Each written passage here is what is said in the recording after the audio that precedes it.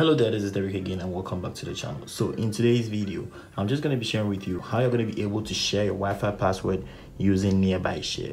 So probably maybe you have someone who has a wi-fi and they're not willing to just share their password with you. You can just request for their phone and then you use these basic steps and then you get their password and you're going to be able to just use their wi-fi. So this can be also possible when you probably have a friend and then you want to share your Wi-Fi with them. You can use these basic steps and then you're going to be able to just share with them. So if you like this video, just give it a thumbs up. Don't forget to subscribe to the channel. Share to anyone you think this is going to be helpful to them too.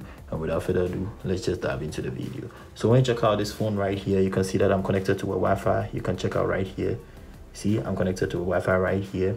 And then when you check on this phone too, you can see that I'm not connected to any Wi-Fi. When I tap on it, you can see that when I tap on the Wi-Fi right here, they're going to ask me to enter the password. So I'm actually connected to my home Wi-Fi right here. And I'm going to go to my settings and then go straight to the Wi-Fi settings and then show you the basic steps you need to know.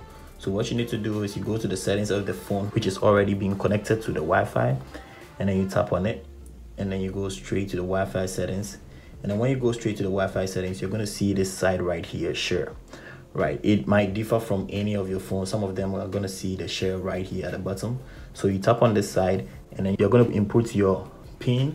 And when you input your pin you're going to see this page right here. So you can see right here that i have nearby share right here beneath here. So i'm going to tap on nearby share here. And when i tap on nearby share it's going to ask me to connect to a phone right here. So you see my nearby share is on right here. And then you can see i'm going to scroll down right here and then tap on it and when I tap on it I'm gonna turn on from this phone. And then it's actually gonna see it right here. So I'm gonna tap on this side. And then when I tap on it it's just gonna connect to the phone right here. And after it's done I'm gonna accept right here. And then basically boom my phone is connecting. You can see right here it's connecting. It's just connected to my Wi-Fi password without me even entering anything right here. So you can see when you when you look on this phone right here you can see that there is home and then the Wi-Fi password is here and it has been able to just connect automatically.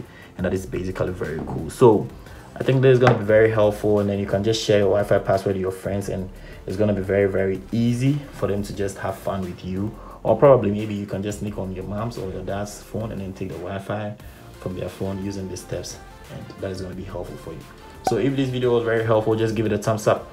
Don't forget to like the video share to anyone you think it is going to be helpful to them too and without further ado, I'm just going to catch you in the next video.